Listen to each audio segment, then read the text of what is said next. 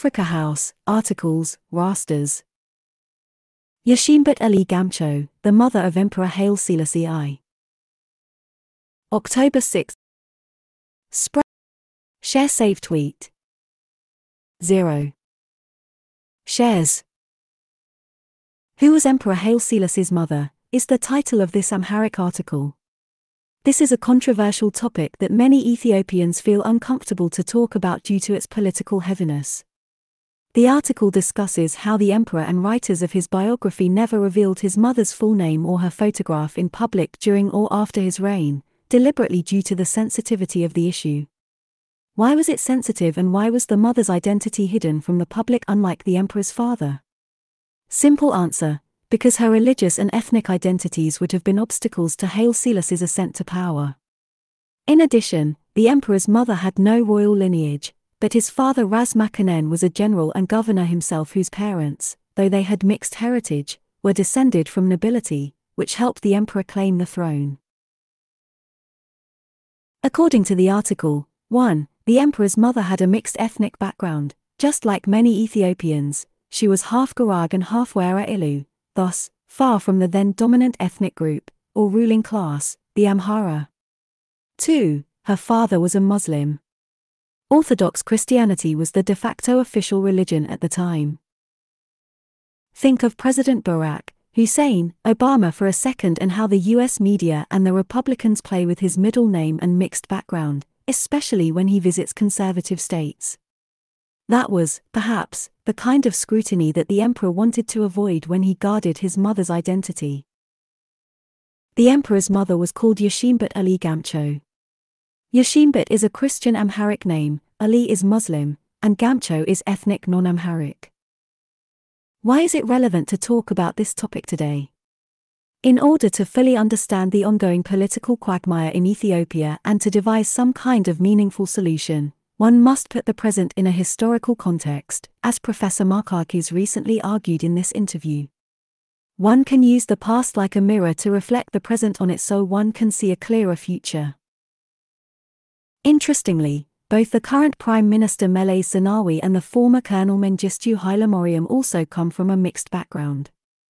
Fortunately, after Mengistu assumed power he never had to worry about his ethnic origin, at least in public, though in private people did call him Baria, derogatory word, which means slave, that because of his very dark skin. Colonel Mengistu purposely mobilized the country under socialist mantra, advocating one people, one country, attempting to quell proponents of ethnic nationalism and to secure his power brutally, which he eventually failed. On the other hand, Meles Zenawi, whose mother was Eritrean and father Ethiopian, isn't as fortunate as Mengistu, dealing with his mixed identity. His mixed background can be seen as standing on a landmine. Even though he was born and raised in Ethiopia, his opponents constantly accuse him of favoring his mother's country, Eritrea, instead of the country he rules. What is more problematic, Meles is also blamed for favoring his father's ethnic group, the Tigrayan community that brought him to power in collaboration with other ethnic groups that sacrificed thousands of youth during the armed struggle against the Mengistu regime. Opponents of Meles say he has created a ruling class that uses the Tigrayans as a power base, a power base that also includes members of the satellite parties of other ethnic groups that make up his Ethiopian People's Revolutionary Democratic Front, EPRDF, party. Because of Meles Zenawi's mixed background and uncontested stay in power, those who oppose him question his legitimacy to rule Ethiopia. His authoritarian rule aside, questioning his Ethiopianness is sort of similar to what the birthers in the US say about President Obama, whose father was Kenyan. In Ethiopia, politics, religion, and ethnicity, or provinciality, have always been interwoven. The trio together have played a major role in shaping Ethiopia's history. During the monarchy, religion, particularly Orthodox Christianity, was the uniting force, upon which the kings legitimized their kingship. The royals, even if most had a mixed ethnic background, traced their lineage only to Christian nobles who rarely embraced their diverse ethnic identities, other than claiming to be either Amharas or Tigrayans in public.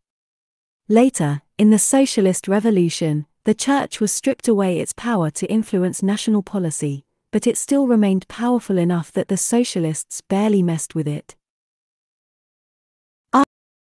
After the revolution, ethnicity took religion's place as a means to fight against the Mengistu dictatorship, to unseat the dictator through armed struggle, and to introduce a new system of governance that based itself entirely on ethnicity, hence, its name ethnic federalism, which has helped Meles to rule for 20 plus years. Today's opposition parties, that want to get rid of the Meles government, are equally affected by ethnicity, divided and disorganized mainly due to their failure to find a common ground. Some of them want the full implementation of ethnic federalism, while others want to completely bury it. Religion, though now in the background, is still influential since majority of Ethiopians are deeply religious. One example is the recent clash between the government and the two major religious groups, Muslims and Orthodox Christians. Both groups have demanded the federal government to stop trespassing on their spaces.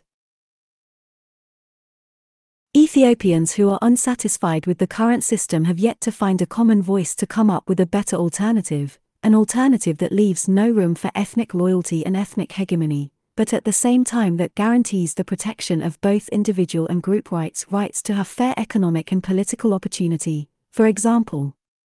What is lacking most is compromise, the emergence of moderate politicians who have realistic goals and can easily cross between party lines for the common good. What we have instead is extremism, too many extremists from here and there who only want to choke one another if they get a chance. Disregarding the needs of Ethiopia's diverse groups and without developing Ethiopian solutions for Ethiopian problems, simply copycatting abstract ideas from other countries will be practically fruitless as past and present experiences demonstrate. Whatever works in other nations doesn't necessarily mean it will work in Ethiopia and less customized to fit local needs. The solution for Ethiopia's unresolved political problems lies in the causes of the problems. And one of the primary causes has always been the competition for power and control of resources among ethnic elites. As a remedy, think of something like a vaccine, a curative substance for a disease, prepared from the causative agent of the disease, which means establishing a genuinely representative form of government that almost every citizen can welcome, unlike the present system that lets one party win 99.6% of seats in parliament. The diverse groups in the country must feel they have equal voice or fair representation in the national or federal government, both as leaders and followers, regardless of their population size, big or small. Furthermore, increase the literacy rate, empower local self governance systems that have been proven effective, internalize democratic principles, build strong institutions that secure democratization, abide by the Constitution, create an environment of trust, encourage innovation in business and technology, fight poverty, let there be equal opportunity for any person anywhere in the country, never suffocate an individual or a group, allow freedom of expression and enjoy the freedom responsibly. Respect and tolerate diversity, ethnic, religious, or free thinking, reward merit, say no to cronyism or nepotism, then expect a different kind of Ethiopia where the future generation will worry less about identity politics, but more about economic security, the arts, the environment, science, and technology. Had Ethiopia achieved that before, perhaps the emperor would have embraced his mother's identity in public, never hiding it to protect his power, perhaps the colonel would not have sought revenge against those who called him Baria due to his dark skin, perhaps the prime minister would have been considered as a legitimate leader by all, perhaps the country would have avoided authoritarian governments altogether, and perhaps most educated Ethiopians who live abroad would have happily returned to build their homeland. Perhaps. Source